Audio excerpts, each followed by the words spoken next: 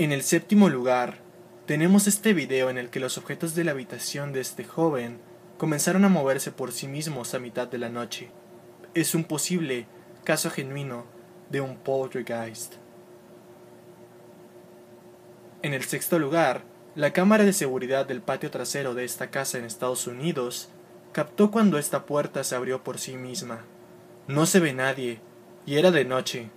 Posiblemente fue un espectro. En el quinto lugar, la cámara del gimnasio de una escuela captó cuando una silla acomodada para un evento se movió por sí misma, estando el lugar completamente vacío.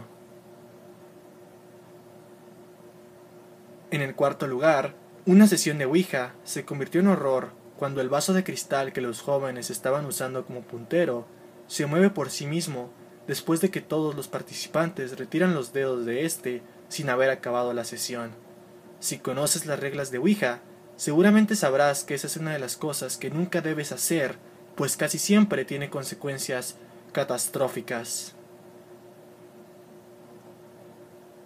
En el tercer lugar, esta persona comenzó a grabar después de que la manija de la puerta de su cuarto comenzó a moverse alocadamente sin explicación alguna. Imagínate estar solo y que de la nada algo así comenzara a suceder con una de las puertas de tu hogar. En el segundo lugar, un hombre que escuchó ruidos en su vivienda a mitad de la noche comenzó a grabar y logró captar una extra... Oh,